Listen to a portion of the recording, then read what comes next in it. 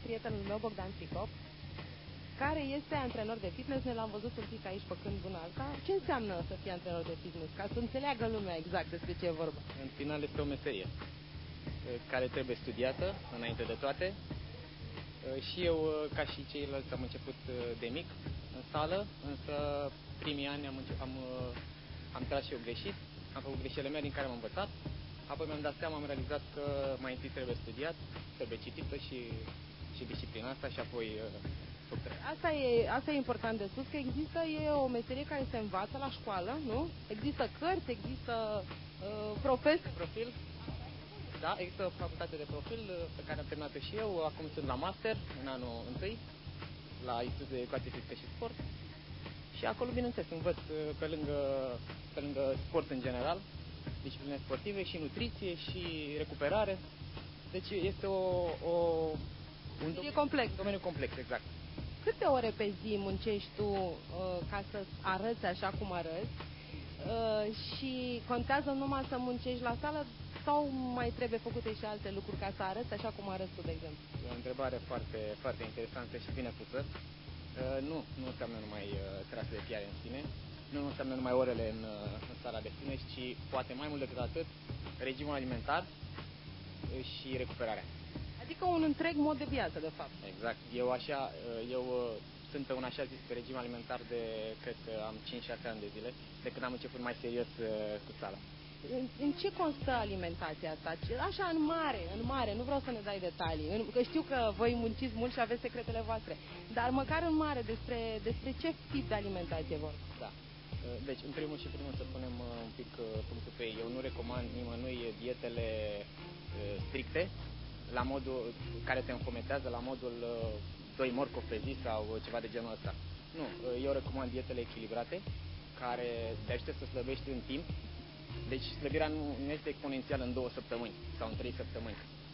Mai am clienți care îmi vin și îmi spun vreau să slăbesc în două săptămâni 10 kg. Nu, deci nu au venit unde trebuie. Uh, ce vreau să recomand este o dietă echilibrată, pe bază de proteine, de carne, lapte, ouă, brânză, toate bineînțeles cu un uh, dietetice, deci cu un procent de grăsime mic.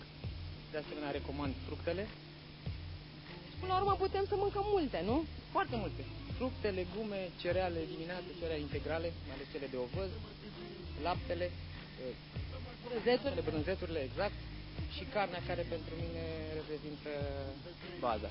Eu, carnea da de vită și de pui și pește, nu? Uh, eu recomand în special carnea de curcan este mai bună decât carnea de, de pui, este mai slabă caloric și are conține mai multe proteine. Mâncăm orez, nu de foarte multe ori pe săptămână, eu recomand cam de două ori pe săptămână și orez, orez brun dacă se poate. Uh, pâinea albă, iarăși nu o recomand, uh, o înlocuim cu pâine integrală, pâine neagră. Ok, deci până la urmă nu e așa greu totuși, nu? Deloc, nu, nu, nu. Trebuie educație, care încă la noi aici în România este mai puțin dezvoltată, însă încet, încet eu sper că să se ajungă și la noi la unde sunt cei din afară.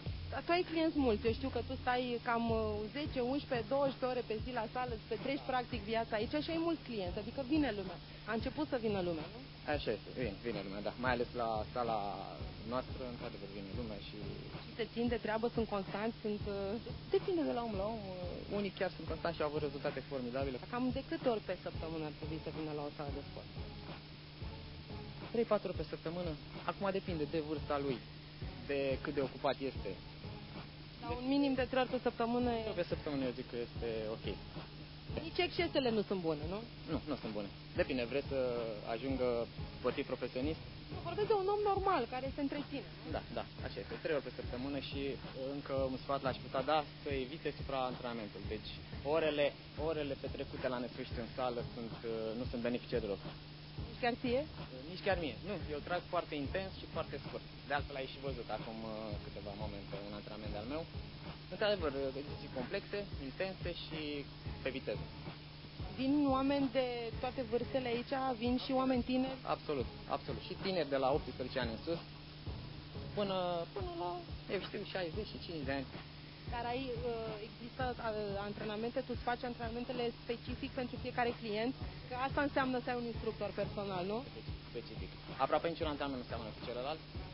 este mereu diversificat și mereu specific în funcție de sexul persoanei, în funcție de vârsta persoanei și în funcție, în primul rând, de scopul pentru care a venit la sală. Deci una este, uh, într-un fel se desfășoară un antrenament pentru cineva care vine să creeze, mus- să creeze masă musculară și, altcineva, și altfel antrenamentul pentru cineva care vine să, să dea jos uh, kilograme și strat adipos.